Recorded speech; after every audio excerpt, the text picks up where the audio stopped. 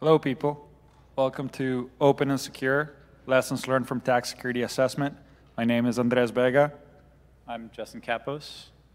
We're both part of the CNCF Technical Security Advisory Group, and we're going to talk about the lessons we've learned, what we extrapolated from them over the last five years of doing security assessments across different projects in the ecosystem. About 20 minutes ago, uh, we filed the PR for a book we self-published. Uh, Justin did all the writing in collaboration with uh, some of the other TAG security members. The book encapsulates a lot of the structure of an assessment. How do we go about it? How do you participate? What are the expectations? And how can you effectively and efficiently uh, collaborate with us to assess your project? There's a lot of value in these. For one, a well-explained project, its stance, its security properties and guarantees help lower the cost of running the software and getting the software integrated with other projects, as well as help users better understand what is it they're consuming. So it helps accelerate traction, improves the adoption of the project, and ultimately helps us safeguard the ecosystem as a whole. There's a lot of real-world examples. There's a step-by-step -step guide on completing these assessments, lot of, lots of references to resources and tools, very opinionated takes from other experts, that you can leverage and take into account when you're going into one of these. Well, we really start off with security by and large is misunderstood for a number of reasons. But following a certain set of heuristics and an approach, you can be methodic about it and you can achieve expected results, at least on how to have more meaningful conversations using common lang language and vocabulary to get buy-in and acceptance for the consumption of, of the project. With that, Justin is going to take us through some computer programs he just wrote in preparation for this uh, to help illustrate that point. All right, thank you, Andres. Um, okay, so you know, as a professor at NYU, um, one of the things that I do is I get to teach, and so I'm going to teach everyone some easy ways to think about security, uh, at least the way that I teach it to my master students and others who are uh, come to learn this. So failures are random events. So a way to think about this is here I've written a chess program that what it does is it makes random moves. So there's no logic in it, it's just literally doing whatever the heck it wants. And so if you think about the real world, you think about the probability that it's going to rain or the probability that your car is going to break down or other stuff like it. These are random events. They can happen, they cannot happen. Yes, some things can influence them, but it doesn't, you know, it's, it's a random process. Uh, however, um, it's not too hard to come up with strategies that mitigate random events. It's actually quite easy to do this. So here, I wrote an algorithm called Furthest that plays the black pieces. And that algorithm, by the way, has already won. The game is over with here. But it's really simple. It just says if you have a move that's checkmate, do that. If you don't do that, uh, and, and you have any pawn you can move, move the pawn that's furthest down the board that you're able to move forward. And if you don't have either of those things true, then just make a random move. And this is 26 lines of Python code and it wins overwhelmingly against the random adversary and does very, very well. So it's a very simple program, okay? Um, and yes, uh, this is not like threats in the real world. This is an effective way to combat randomness, okay? Um, so now, the difference in, in computer security is that you're not facing a random adversary. You're not facing the weather, other stuff like this. There's a cunning human mind behind this that's devious and trying to figure out ways to attack your system. It's studying it, it, is thinking about it, it, is going after the thing. So let's try to look and see what such a cunning adversary might look like in the real world. So this is my nephew Dylan. Um, he's five years old, nine months, uh, height 3'11, 42 pounds, favorite food is hamburgers. And he learned how to play chess. He knows most of the moves in chess, not all of them, but he's got most of them down. And importantly here, he knows how to anticipate his opponent's strategy to some degree, okay? And so now we, we see what happens when we place this intelligent adversary, Dylan, here, who's playing as white, against the random algorithm on the left and the furthest algorithm on the right. So um, in both cases here, Dylan is going to have no problem uh, checkmating and beating these programs, right? Even you know this strategy that was overwhelmingly good against randomness, he can defeat it no problem. Super simple for him, easiest game of chess of his life, right? And so this is why when thinking about an, an intelligent adversary, you really have to think about things in a very different way, okay? And so um, when you do things like a security assessment, like you're trying to assess the security of a project, you have to understand many different aspects about that. And I'm going to go through these in a little more detail in a moment, but you have to understand the scenarios, like the, effectively the board on which you play the game. You have to know what the pieces are, how the pieces move, what causes someone to win, uh, what things you don't care about, and other aspects like this. Um, so for a scenario standpoint, it's really, really important when you think about anything, computer security or anything else, to think about the intended use cases of the system, like when is this supposed to be secure, under what circumstances, and so on. So if I say to you, my car is reliable, what you think is you think the car can get me to and from work day after day without having problems. But if I go take that car and I try to drive it through Lake Michigan um, and it fails to make it across, you would not say, oh, well, that's because your car wasn't reliable. How could you have lied to me, right? A car is not a submarine. So it's not expected to perform well underwater or on the planet Mars or something else like that. Um, actors in a, in a system, especially when we think about cloud native systems, actors are um, the different things in your system, either system administrators or pieces of software or other things like this, that go and perform um, you know, the important things that are going to be done in your system. And so these are analogous to the chess pieces on a chessboard. Um, they're the things that you need to worry about and you need to think about like uh, basically um, what these are and who they're controlled by. Um, and then you also have to think about actions. These are the moves that chess pieces make in a chess game. In cloud native systems, you need to think about, oh, you know, well, um, uh, my identity management system talks to this database and it retrieves this data from the database and then it uses um, some function to write out statistical information uh, to a log file somewhere. Those are actions. Those are things that are actually happening with a system. Um, and so it's really important to think to understand how your actors perform actions in your system and what in what ways these happen.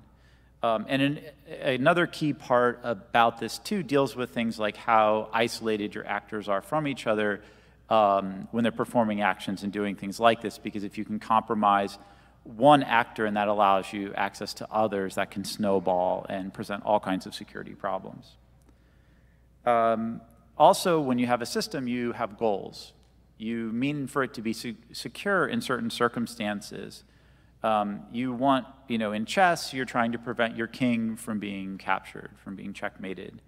Um, and you have to think very carefully about what your goals are for a system in something like a cloud native context.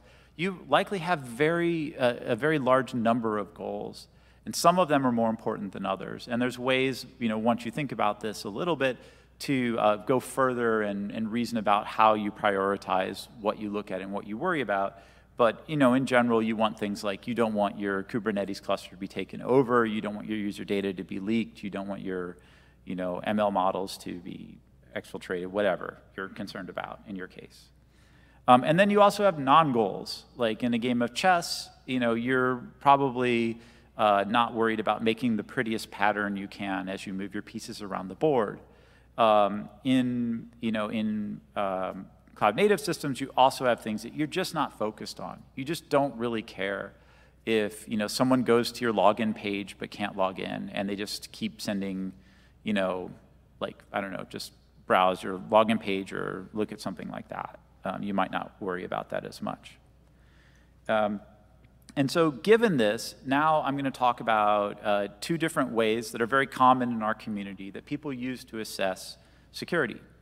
Um, we've talked about the chessboard, the pieces, and stuff like this. Now we're going to kind of put this in context and talk about different mechanisms that we can use to um, you know, actually get actionable things out.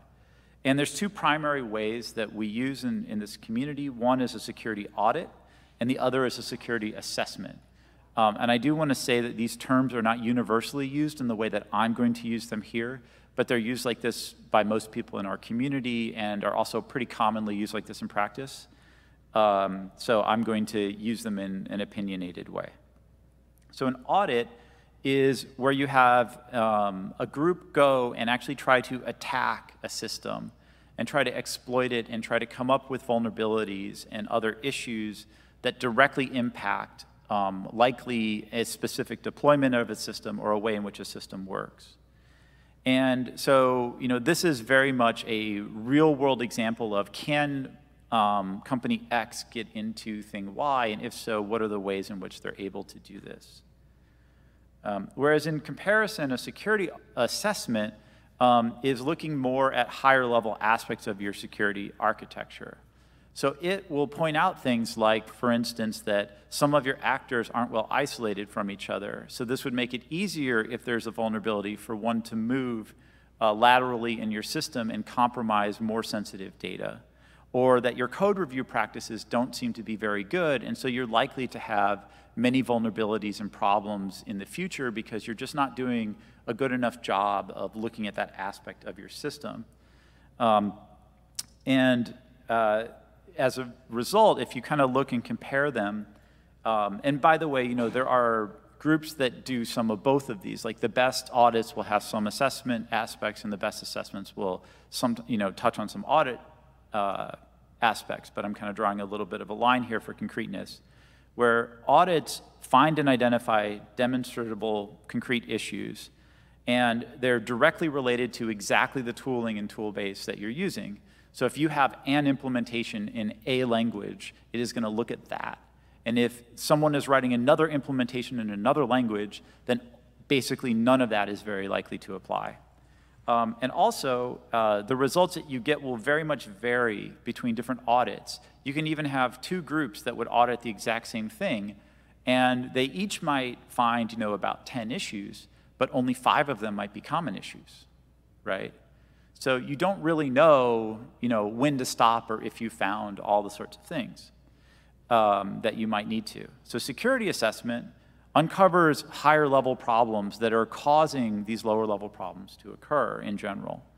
And it tends to be a very long-lived, like long-term thing. You don't need to redo security assessments every few months. It tends to be the kind of thing that if you're doing the right practices and you're doing stuff like this, um, that as long as you're continuing those practices, that assessment can still be valid over many years of time. And so it really provides you like enduring long-term guidance. And um, one negative aspect, though, is that sometimes it's difficult to go to management and say, look, like there's really value in us making this change um, because you're not pointing directly to a CVE in most cases. What you're doing is you're going and you're saying, um, hey, uh, you should change this thing because there's huge classes of problems that can come up we can't tell you, you know, what they are. Uh, we haven't exploited any, but any problems here will cause you problems, or any problems here will cause you problems, and this addresses it. Um, so now to continue the rest of the talk, Andres will uh, come and talk a little bit more about some of the tooling and things like that that we use for threat modeling and other aspects of the system.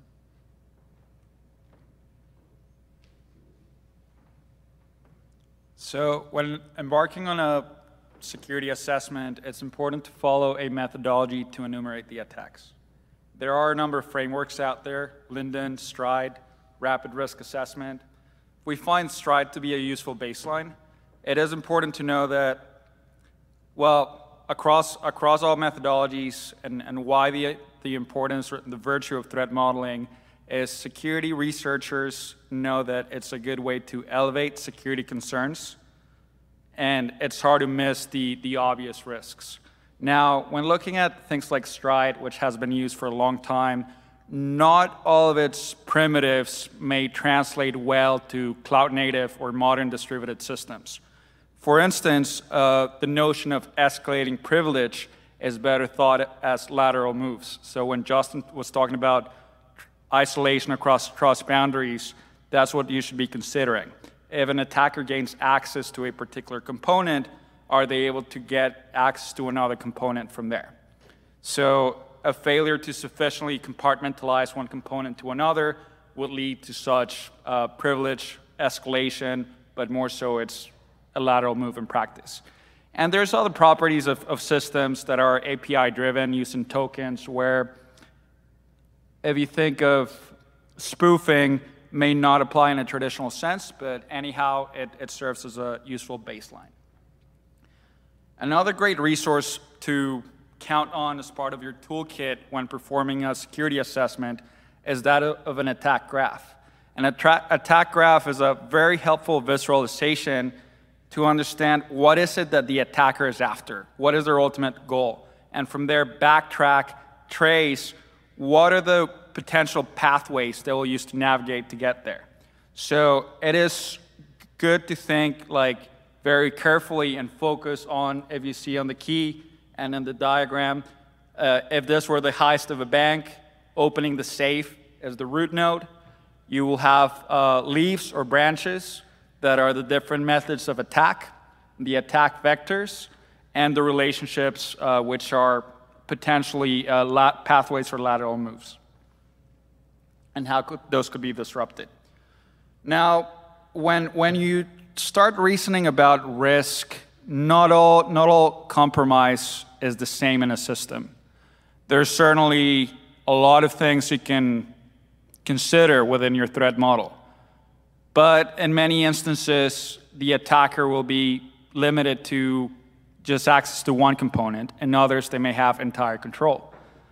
There are exceedingly rare events. If we use the analogy of a meteor hitting planet Earth, it'd be catastrophic, but is highly unlikely.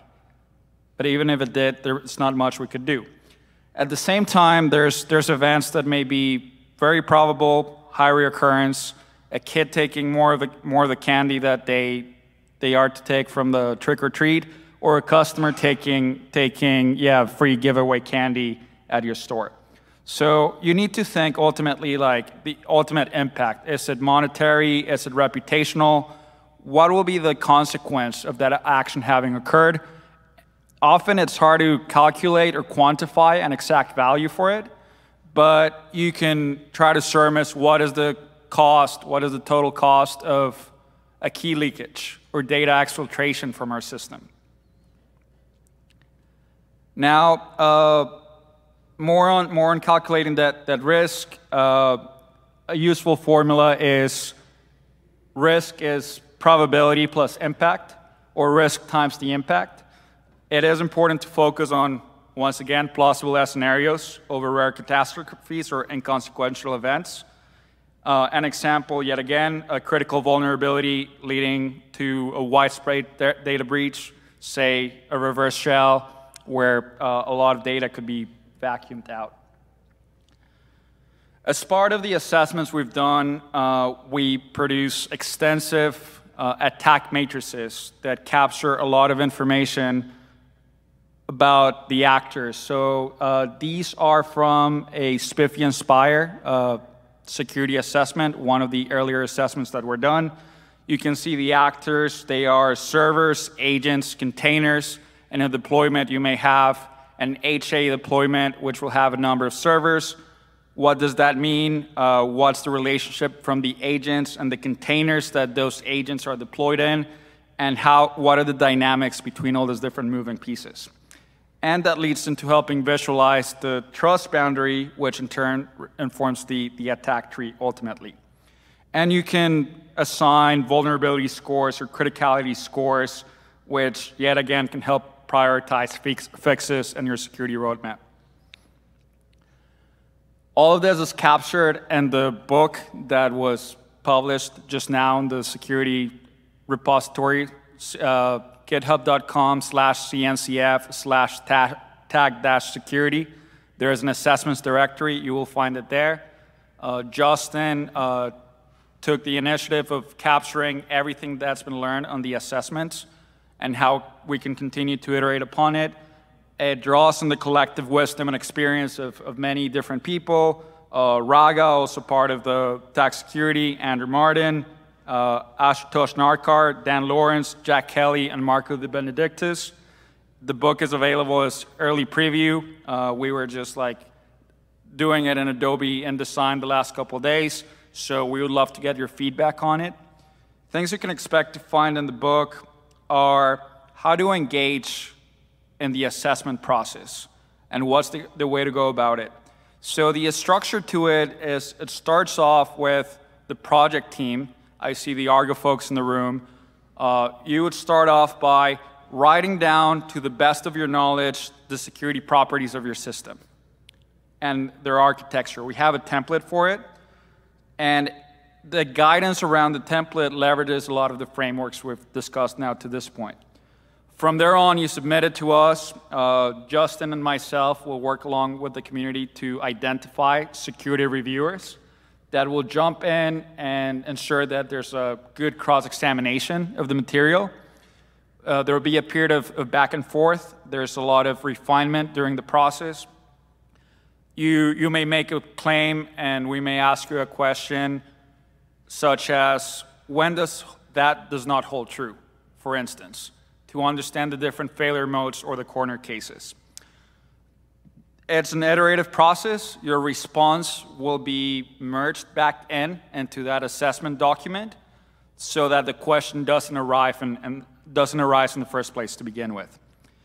Uh, once completed and signed off, uh, we share that with the technical oversight committee, uh, with uh, your project constituency and your end users, and it's available for posterity and, and the TAG security repo. You may also decide to check it on your own uh, project repository. Now, if, if we look at it as, as a fairly well exercised process where there's a lot of lag and we, we have typically difficulty to get going, is in the initial phase and helping the project understand uh, how much do they need to produce, to what level of detail. Uh, we have a number of assessments in the queue right now that that's where we're seeing uh, the most attention is required. Fortunately, uh, we're kicking off an initiative in collaboration with uh, New York University. Justin has over 110 students that will avail themselves to work alongside the projects to produce that self-assessment draft. draft. The general plan on how we're going to go about it is you connect, there's a preparation stage, really quick setup, getting to know each other, point them to the right resources. They'll perform about one to two days understanding the intricacies of the project and where does the project fit in the ecosystem and relationship to other projects. From there on, they'll take a stab at uh, filling out the template and producing all the information we solicit. Uh, and then they will go back to you and ensure that it's tight and that it's enough and it meets the bar for what TAG security expects. And from there on, well, we uh, pick it up and engage with the rest of the assessment process. It is la launching right now with uh, 27 different projects, which is almost all of the incubated and graduated projects that have not gone through a security assessment to date. We are always recruiting uh, participant, participants and other reviewers uh, to come along, pitch in, and help us with the assessment. Uh, it's relatively a low bar of entry. Uh, let us know you want to be part of it uh, indicate so in any open issue for outstanding or pending security assessments. You do not need to have participated in prior assessments. Just let us know you'd like to come in and shadow and observe how is it that we work with and what is like, how stringent and how scrutinous the process is. Uh, all questions, all interactions, uh, there's a section of like, there, or there's a phase of naive questions. There's no question that is dumb. All questions are valuable and helps us, help us surface and elevate information that should have been written in first place. So it really enriches the whole process as, as a whole. You should expect a commitment for about two or three weeks. Uh, total work time about two to three days. So something like uh, 16 to 24 hours. And from there on, having, having your badge or having your bit that you were part of the assessment bit, uh, you likely be someone that we look into the future to help us lead one of these assessments. So yeah, we, would love to have your participation. Uh, and from that, uh, let us know about ways that we can improve it and that we can make it uh, more impactful, more meaningful. Typically, maintainers love it. We get a lot of praise from the project teams, how much better we help them articulate the defenses of their project or the dynamics of their project. It helps them position the project and come deliver talks at KubeCon or uh, assist their end users with security reviews. We do not hear from end users all that much, though. And we would love, if, if you're an end user in the audience, uh, making use of any project that has already gone through an assessment, we would love to learn how that assessment has been leveraged. And my own personal experience with the SPIFFE project is something that aided us when there was perhaps some friction from the platform team convincing the security team. So equipping them with the material that can ultimately inform controls, hardening guides has been extremely beneficial. Uh, it often also helps convince the business of what is the total cost of ownership if it's a product, project that is fairly watertight or buttoned up in, in terms of security. And it also eases the, shortens the time from getting from zero to production with, with the project. So yeah, I would love to hear from you. Uh, engage with us. Uh, it's hard to state or hard to quantify how much it raises the awareness, it raises the defenses, and it's also you can you can uh, acquire skills from threat modeling that you can incorporate back into your day-to-day job and also future projects. Uh, here's a list of the ecosystem projects that have published assessments, Buildpacks, Cloud Custodian, Harbor, in-toto, Keycloak, Kyverno, Open Policy Agent, Pixie, SPIFFE, and Spire. Huge heartfelt thank you to the maintainers that have worked with us to help us achieve these milestones and everyone else who has contributed along the way. It's been truly a monumental effort, but it's, it's neat to see these uh, assets that are a great resource for everyone in the community. Uh, with that, uh, Justin, if you want to come back on and if you want to add extra color in the book or, or pointers, uh, you're shaking your head, but I'm certain you have something to say. That was great. I'm happy to take any questions if anybody has any. Thank you.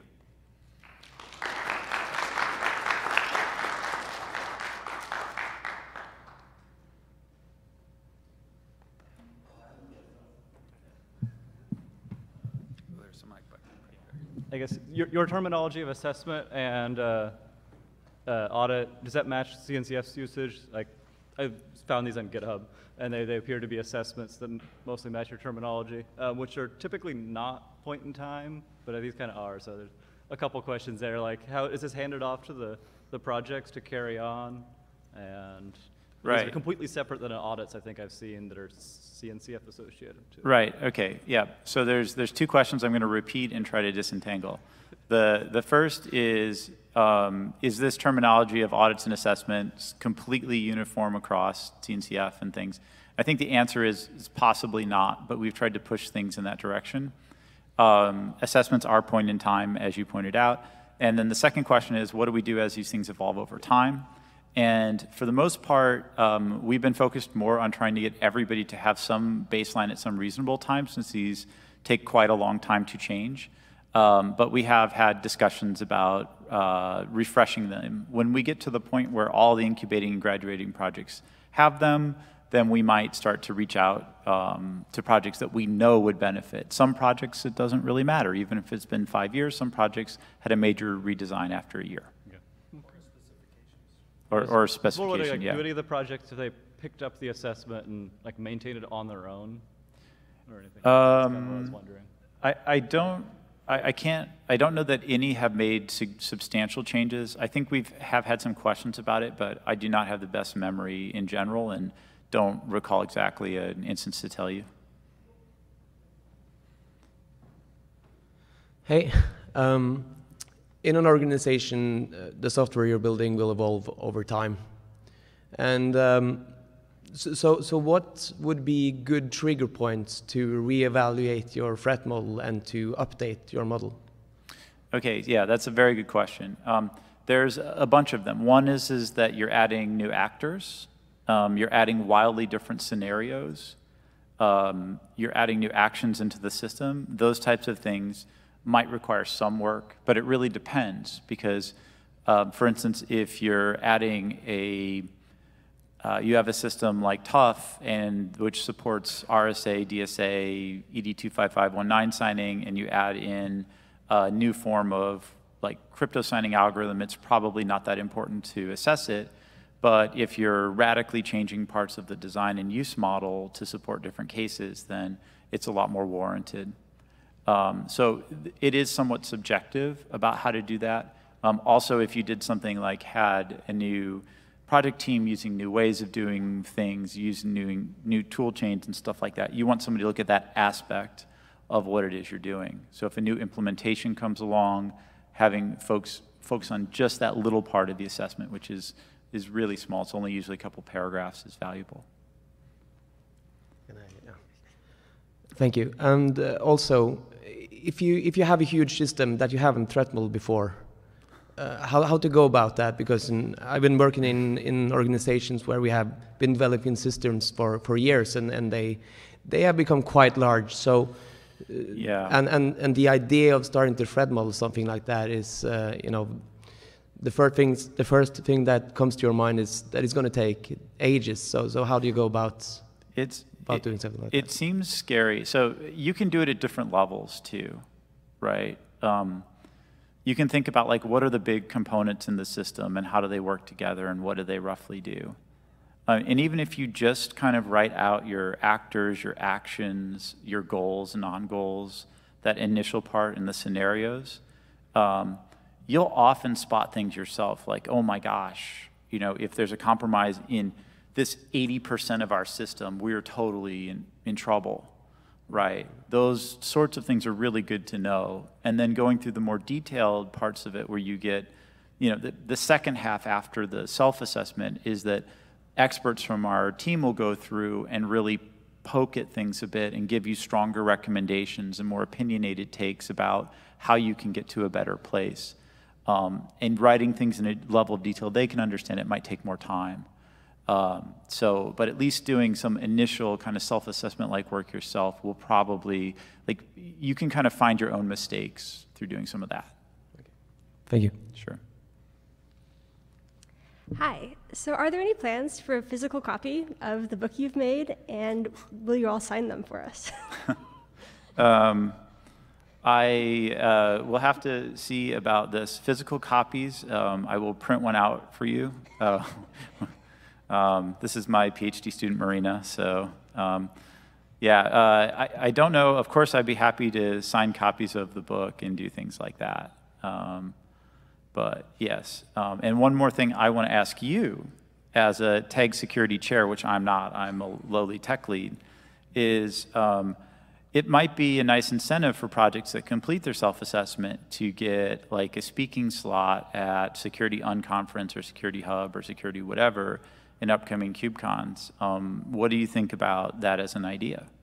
Yeah, I think that's a great idea. Um, I think definitely highlighting the, um, the, the successes of these assessments and the projects that really do a lot of work to, to make them happen. I think that would be great.